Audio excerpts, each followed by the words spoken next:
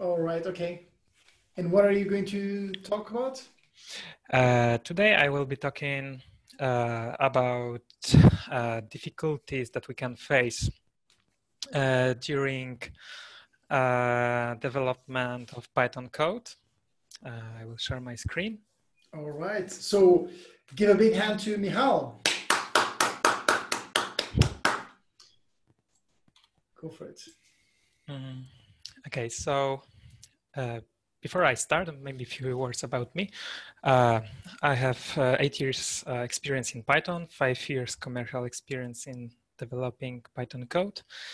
And uh, today I will uh, share my knowledge uh, and best practices and best tools that I'm using during project development.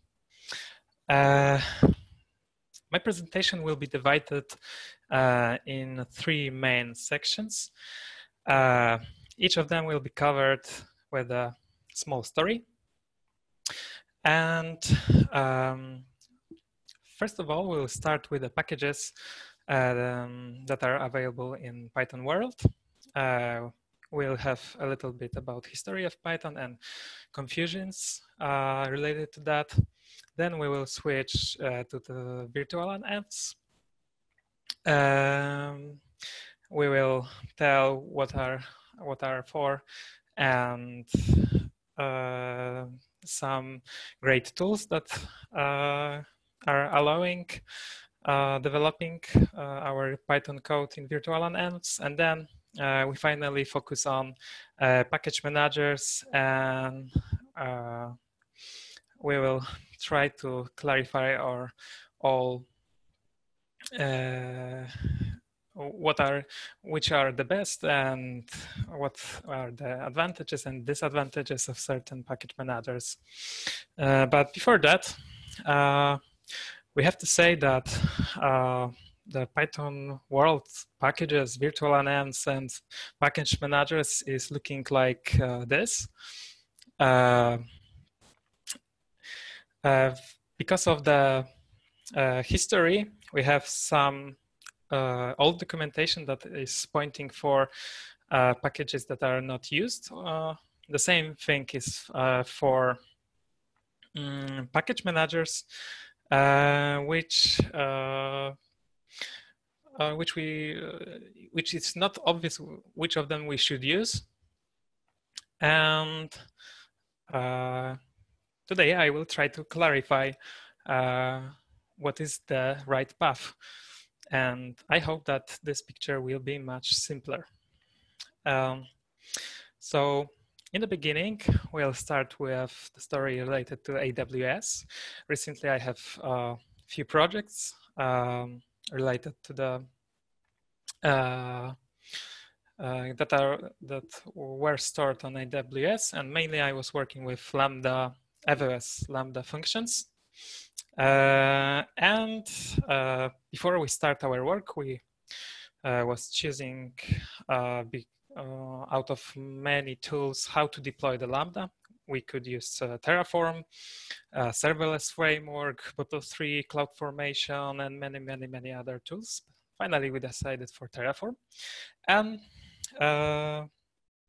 to use Lambda, uh, the deployment of Lambda uh, is looking like uh, this. We have to prepare the zip file uh, with our Python code, and uh, we also have to add the libraries that we are uh, required for example to communication with database, with database like SQL Alchemy, because uh, Lam Lam AWS Lambda itself contains only base libraries of Python. And during development, we noticed that uh, we have a problem that Terraform is constantly building our um, our code on lambdas, and the reason of that is uh, was uh, uh using different wheels because uh, we. Mm, in the beginning, we was doing this by hand, and each developer was uh, using different platform and uh, what is wheel I will tell in within few slides. Uh, and also I will tell how we fix that issue.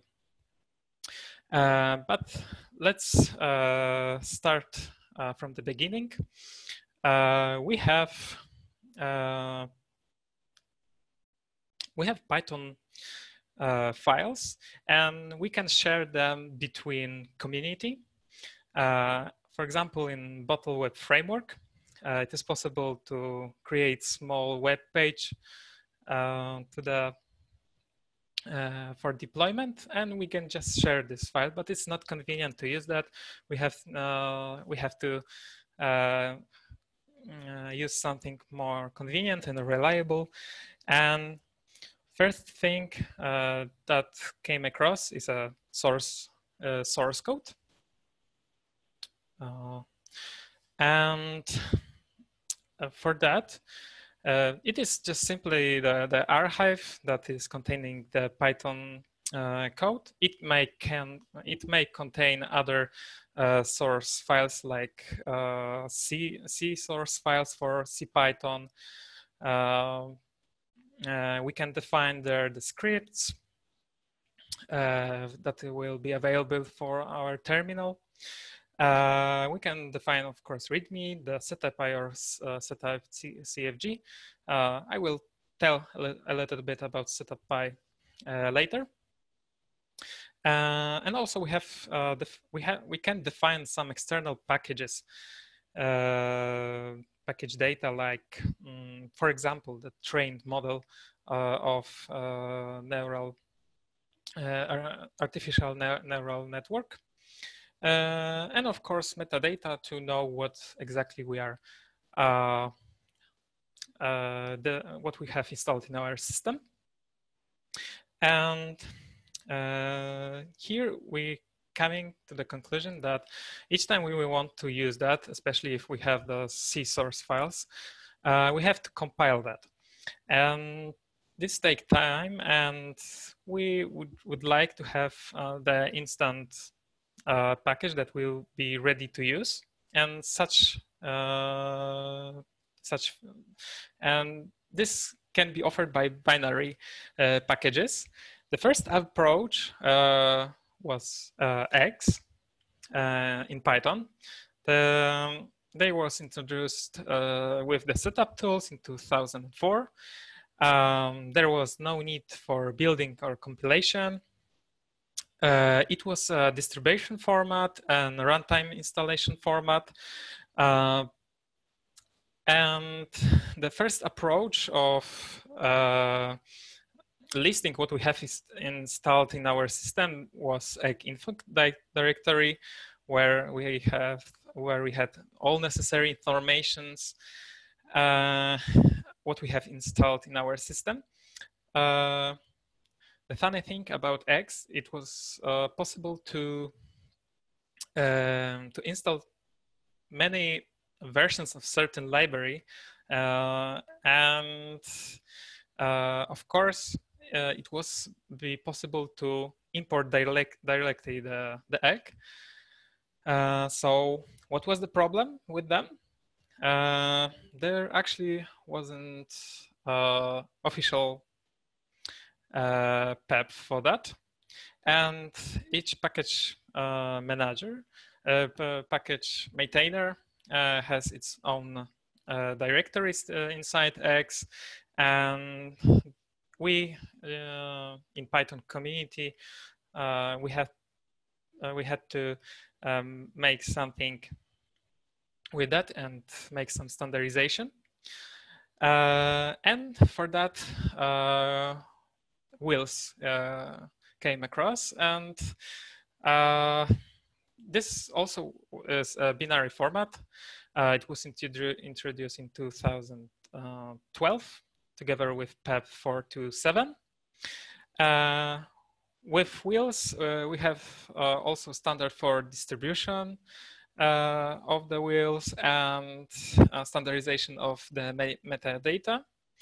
So instead of egg info, we now have the uh, now we have a different directory that is that is contain different metadata. Uh, and this is the current standard for building the binary.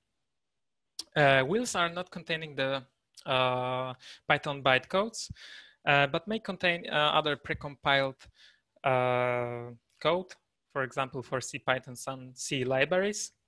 as I mentioned, instead of egg info, it is used the, dist-info directory.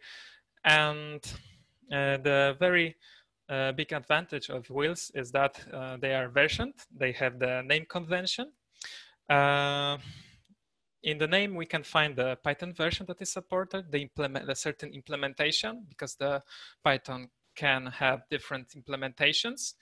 Uh, also, uh, there is information about application binary interface, which is different in Macintosh and Linux and uh, Windows and uh, for which system architecture is uh, built certain wheel.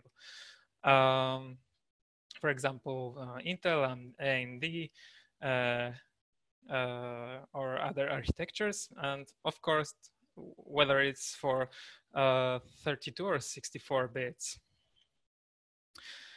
Um, for now, some wheels are importable directly, for example, for our rep uh, but uh, it's not supported by PEP 427 itself. And here we can see the example uh, wheels. The first is a universal wheel of the pip um, library, which is for Python 2 and 3.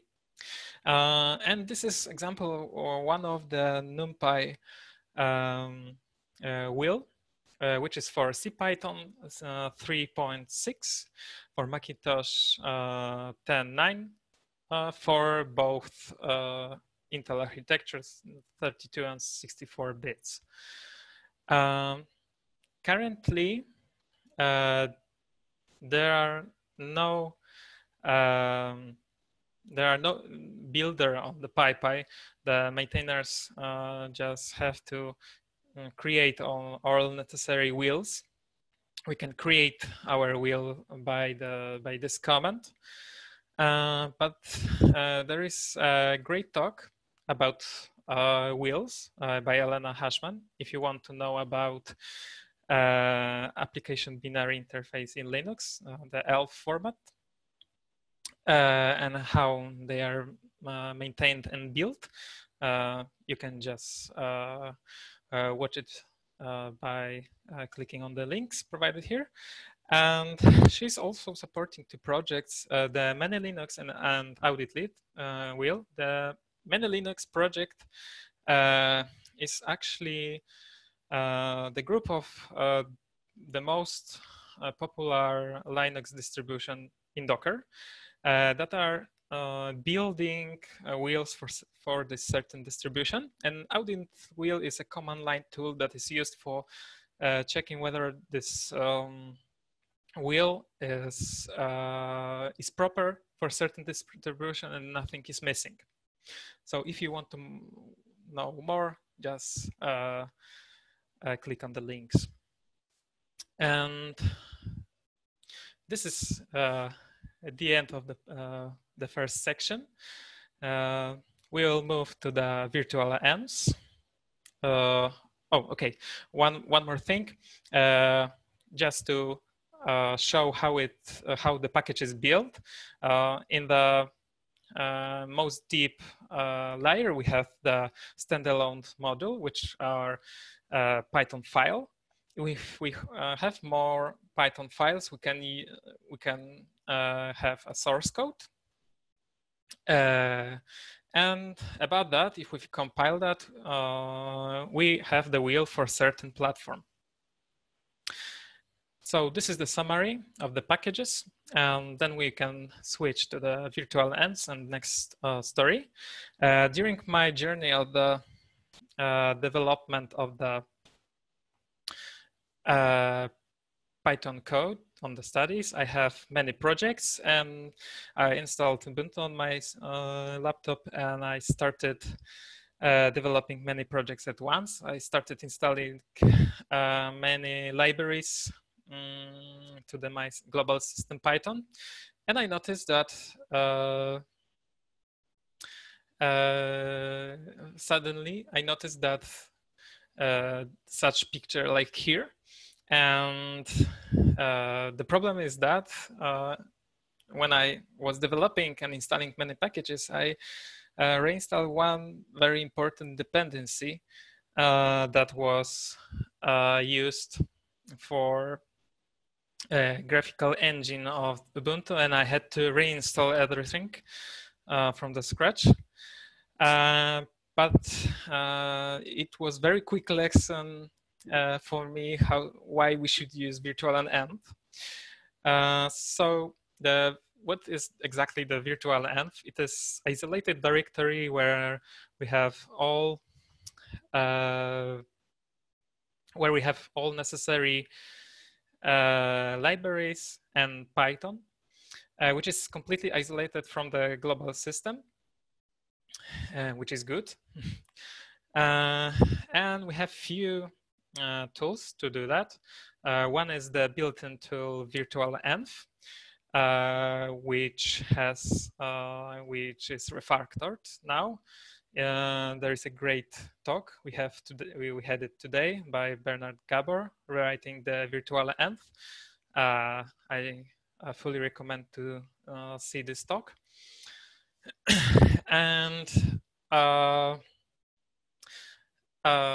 together with uh, virtual uh, there is a useful thing to use the virtualenv wrapper, which provides useful commands for creating virtualenv, deleting, deleting it, switching between them, and it's it, it's it is easier to develop the uh, the Python code with with that.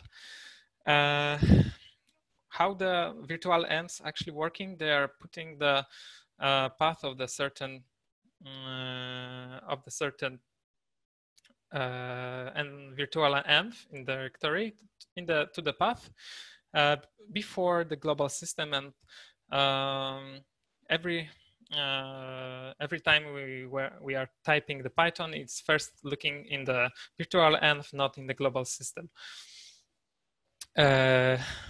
From today's uh, presentation, uh, I've heard there will be possibility to create uh, virtual envs for different uh, Python versions, which is uh, very uh, good, but they are must be installed on the mm, on the system. They they must be present for virtual env. so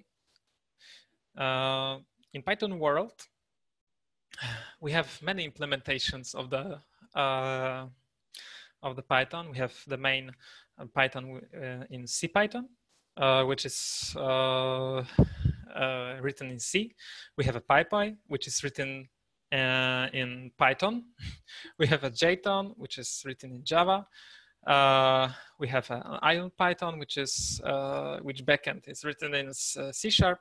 We have a MicroPython, which is uh, used for certain uh, uh, embedded systems. And we have the stackless uh, Python, uh, which is not containing the stack.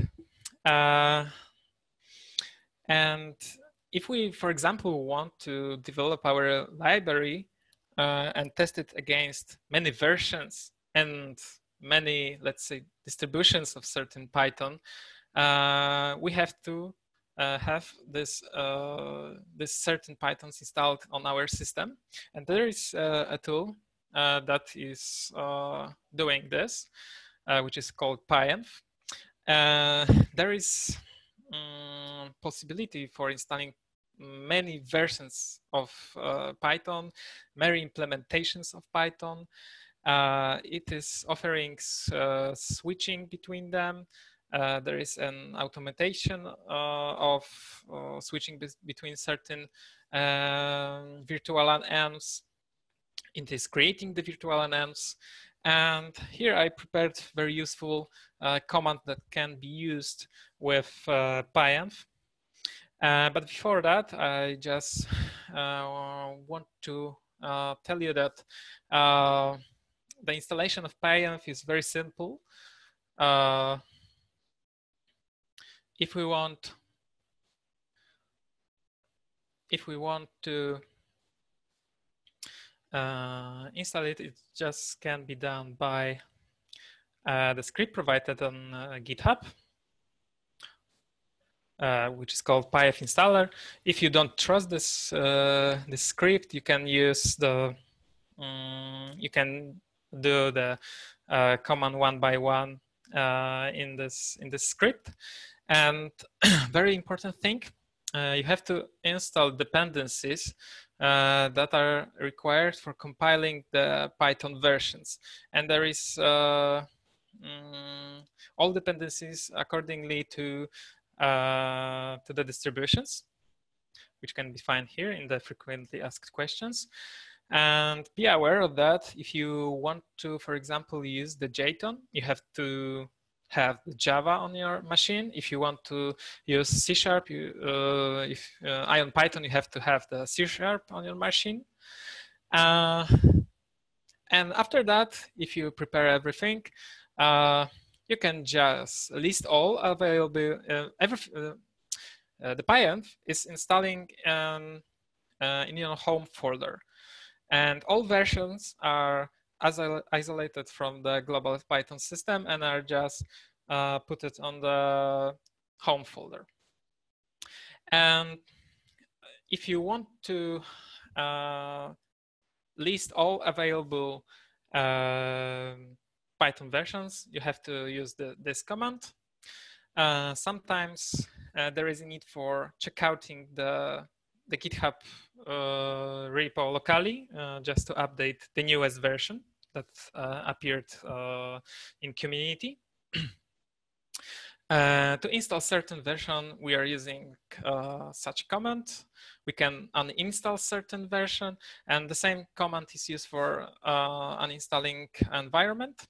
to list all available Python versions, we can use this command. And very important thing is that uh, if we want to know where exactly our virtual env is stored, uh, we have to use the pyenv which uh, Python command.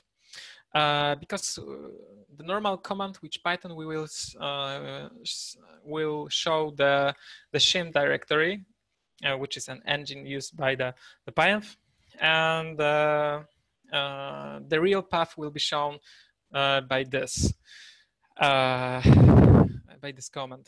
Also, we can activate or deactivate the environment uh, by hand.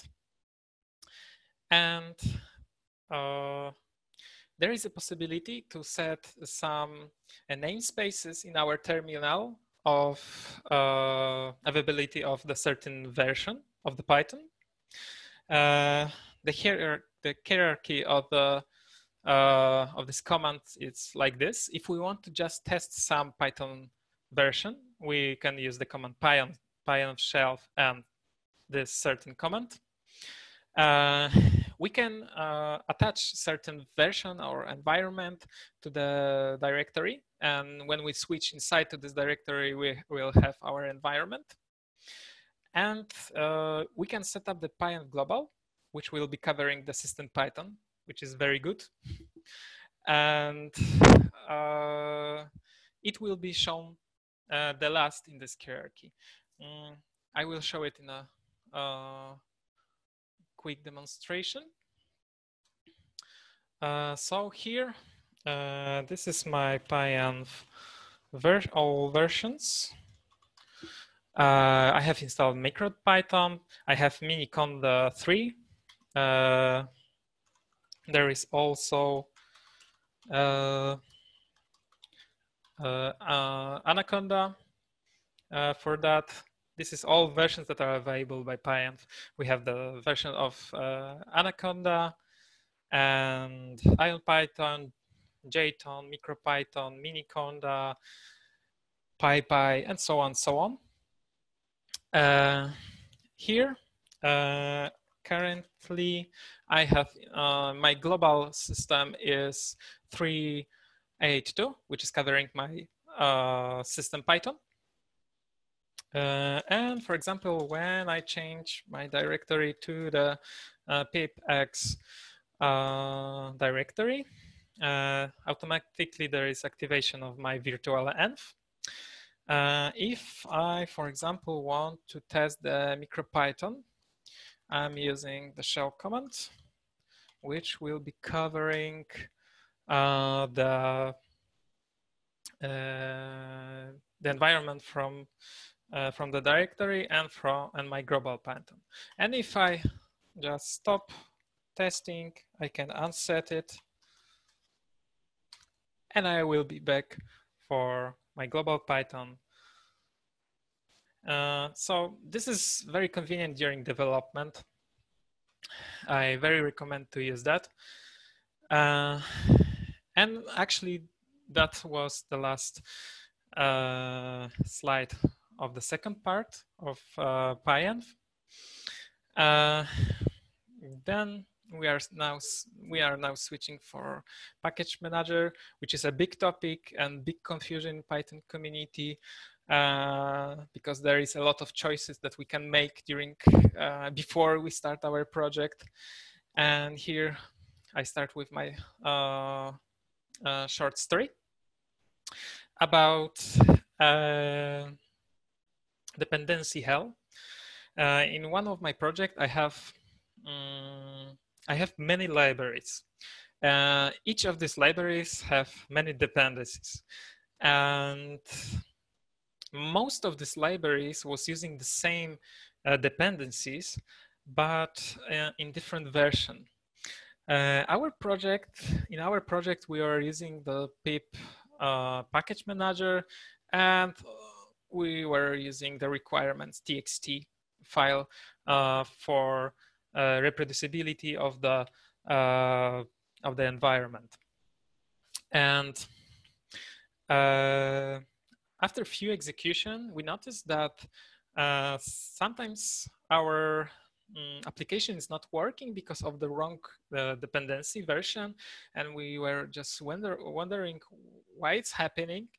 And we noticed that in some cases, uh, uh, the the, or, the order in requirements txt uh, was changing our dependency because the first library, for example, for example, was using the Python, uh, the library version uh, 1.00, and the second one was using 103. And what was happening, the pip was not, it's not resolving this dependency uh, versions. Uh, it's just installing the first version. In the, in the second line, it's uninstalling this uh, first version and it's installing again the, the second version. So we just wanted uh, to know how we can just manage that. And we switched uh, for different uh, package manager and I will show you uh, plenty of them. Uh, but uh, before that, the short story, what was first. in the beginning of Python, we have easy install, which was using eggs for installing. Uh, it was provided know, with setup tools in 2004. Uh, it was using installing uh, packages and its dependencies and it uh, there there was no pep for uh, for the easy install. So with the standardization, the pip uh, came across, and we find that uh, and the pip uh, was released in 2008. Uh, it's using wheels or source code and introduced the requirements txt for freezing the, our for freezing our environment and knowing what we have exactly installed in our uh, virtual environments. Uh, the good news is that uh, from uh, certain versions of uh, pip, the latest versions of pip, um, there is a possibility of checking the hashes of the versions of Python, so we have more security uh, but it has to be explicitly uh, used. Uh, but as I mentioned, pip is not resolving uh, dependencies. So uh, uh, here is a, a package, uh, here's a table that is comparing easy install together with the pip. The main difference is, is that easy install is using eggs. Uh, there was possibility to install the um, many versions of certain library. Uh, there is no PEP for easy install. And for pip, there of course there is uh, uh, uh PEP for 3.8. Uh, it is using wheels. And this is the main, actually the main um, differences between them. So we have, but as I mentioned, there is a, still a problem with um, difference uh, with the resolving of dependencies. So uh, uh, okay. Oh, I'm just moving forward. Is that's happening? Okay. So before I move to this tool, uh, uh, to these tools, uh, I will tell short introduction to setup PyScript, uh, which is used for uh, our packages and libraries that we want to install in our environment. Uh, we are feel, uh, we um, are filling necessary information informations and the setup py script is providing the possibility of building the packages, uh, distributing them to the PyPI and installing in our virtual envs. Uh, this is uh, the example uh, piece of code of setup py, where we have the version, description, authors, uh, packages. Uh, we can define additional non-Python packages like SVG files or other data. Uh, I don't want to focus on the setup py in this uh, presentation. Uh, it is, I just wanted to mention it because it's uh, used in the next tool that I will be uh, talking. Uh, so the pip tools, it's, um, it's a package manager that is using two commands, pip compile and pip sync and it is resolving uh, dependencies uh, in certain way. It is using the setup py and requirements in file uh, for uh, knowing for resolving all dependencies. And after that, after compiling, we are uh, uh, we have we are getting the requirements txt where we have all resolved environments uh, all result dependencies, and we can reproduce our environment.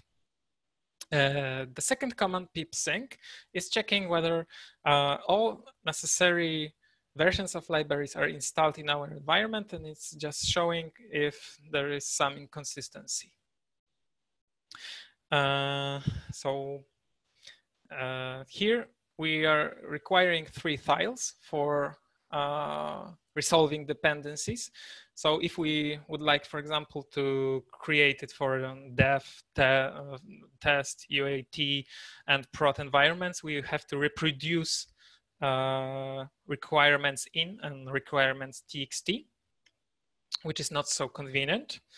Uh, and then we have a different tool that is uh, pipenv. Uh, it is it can manage, manage the uh, virtual environments. Uh, if we, for example, is installing something and we have not activated the virtual env, it is automatically uh, activating the random virtual env with the random name and installing uh, it there. Uh, but it's but when it's uh, something when the virtual env is activated, it is installing in the current virtual env. Um, and it is using uh, the Pipfile and the Pipfile lock files. Uh, and Pipfile uh, contains two sections. In the first section, uh, in the first section, there are uh, uh, development, local development packages that are used for creating the project, and the production develop the production lib libraries. And each time we are providing something, it is resolving automatically uh, all necessary depend uh, dependencies, and it's telling whether uh, there are conflicts that cannot be resolved. For example, one library is uh, uh, is requiring the version 2.3, and uh, the second the the second library want dependency that um, will require version below two. So this is very useful tool uh, for pointing out such uh, situations. And of, of course, when we have the stable and, uh, environment, we just locking the environment, uh, which then the Pipfile lock is used uh, just simply for um, installing on our CI/CDs, uh, on Docker images, and so on, so on. also, pipenv is using uh, is using is using uh, our uh, hashes. So we have the security, and there is an alternative for, for pipenv, which is also which is also great, which is poetry. We use uh, we use it for uh, actually the poetry has the same features as uh, pipenv, uh, but it's faster. I will show that. Uh, it's faster in, in resolving dependencies. Uh, uh, the main, uh, so it is managing the different environments. It's also installing packages. It's resolving dependencies. Uh, but there is also the convenient way of uh, creating packages and publishing into the PyPI. So it is more useful for libraries. And uh, I will say a few words about uh, uh, package manager that is not used, that is not uh, pure Python, which is Anaconda, uh, which is uh, the Python libraries plus some other data scientist libraries. The Miniconda is the smaller version of Anaconda, and the Conda is the package manager. Uh, the main problem with uh, Anaconda is that it's it's not supporting PyPI, it's supporting uh, only uh, their, their channels. Uh, they have different um, standards for their packages. So there is no compatibility between PyPI and uh, channels, Conda channels. And of course, um, Conda packages not working with uh, Python virtual envs. So be aware, be aware of that. Uh, if it is mainly used for machine learning uh, projects, and we have the possibility to use Conda itself or Conda with uh, other package manager.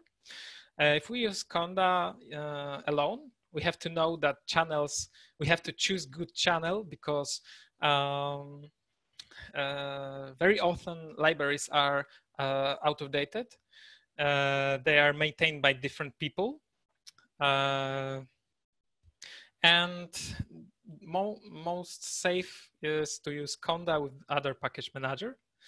Conda for some non-Python packages and Python package, package manager for, for getting the latest libraries from Python. Uh, and uh, and this is mainly useful for machine learning. Uh, also recently, uh, also uh, recently, uh, there there was uh, a release of a PDM package manager, which is implementing mm, PEP 582. Uh, the PEP 582 is uh, talking about storing is uh, is storing the uh, is storing the uh, libraries inside the project. There is no need for the virtual envs. Everything is with the project directory, and also it's implementing PEP 517, which is installing libraries from the directory. Uh, so this is uh, this is a great feature. uh, but it's on early stages.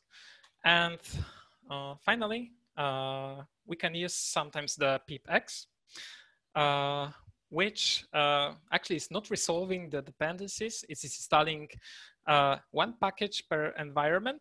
And if you want to install a second package, it is installing in different in virtualenv. And also there is a possibility to install two packages in the same environment but it will finish uh, with uh, not resolving the dependency. Uh, so it is resolving dependency because it's it's installing only one package. So here, uh, I've just gathered uh, all all information that I have already said. You can check it. It is separated in three uh, tables and annotations to these tables. I will skip that this is just the reference. Uh, and finally, I've made some benchmark and uh, surprisingly, poetry is the fastest uh, from, uh, from chosen package manager uh, by me. And uh, I'm, I'm very often using it because of that. and finally, I will tell a few words about my setup. Uh, I'm mainly uh, installing uh, pip locally on my home folder. It's not if I something install uh, from my user, it's installing locally uh, on my Linux system. Uh, then I'm installing pip and poetry and other tools that I'm requiring for most of the projects that are common from for projects. And then I'm installing PyEnv for managing many Python versions and virtualenv. Uh, and then I start, I start project by creating virtualenv and developing. Uh, so here are all resources that I used for presentation. Uh, feel free to, uh, to see everything, uh, what I used for this presentation. And uh, that's the end of my presentation. Feel free to ask me questions. Thank you, Michal. See, people loved your talk see, uh, see those claps. Um, so okay, so we got two minutes. I, I, I think I can only go through one or two questions. So Matthew is asking, um, how did Wheels help you solve your problem with Terraform and AWS? Uh, actually, uh, we just had to create a Docker. uh, Docker image that was common for every developer, and we solved that. And then we created uh, AWS AWS layers where we have all libraries. Right, right, okay. Uh, Oliver is asking, how is PyEnv in comparison to virtualenv? Any preference and why? I uh, I love to use PyEnv because I can easily switch between versions. I currently working in a project uh, where I have five repositories and five different uh, Python versions. I don't have to install it in different, I don't have to in, it, it install globally. And I just can switch it easily. Okay. Um, what's the best way to maintain package versions between requirements.txt, Pipfile, and setup.py? Uh, could you repeat? So what's the, the best way to maintain package versions between requirements, Pipfile, and setup.py? Uh, I think uh, I common I'm commonly using the Pipfile lock or poetry lock mm-hmm. uh, because it's resolving my dependencies. Uh, pip tools is uh, okay, but it's uh, but it's too big to have many requirements for many uh, environments. I think. I don't know whether I, uh, I answered your question, but we can talk. we can talk uh, yeah. after on the next. Cool. So we we reached the end of the time. There's there's still three questions here. Um, I will urge people to have questions to go to the talk on Discord, uh, the channel of this talk. Uh, thanks for coming, and thanks Mihai for the, the, the talk. We're going for a short break.